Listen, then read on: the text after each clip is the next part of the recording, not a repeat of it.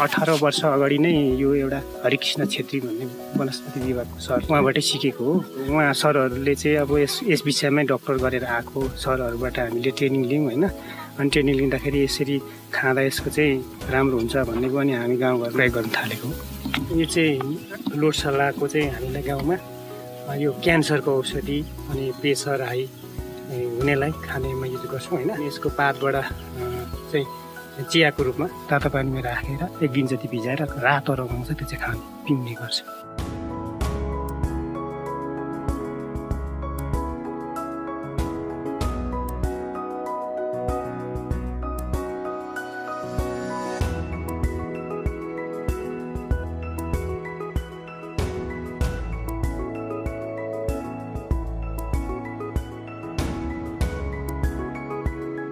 ठुलो डन्ठा भन्दा पनि यो सानो अहिले यो स्केलको काटेर यसलाई घाममा सुकाउँछ उदोमन्टे पारेर यसरी अनि त्यहाँ सुकाएर प्याकिङ गरेर लान्छ।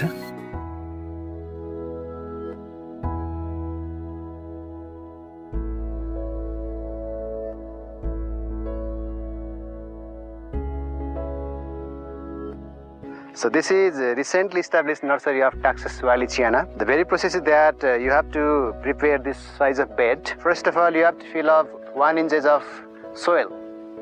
Then in another level, you have to fill one inches of uh, sand. Then you have to, you know, fill up uh, one inches of organic fertilizer.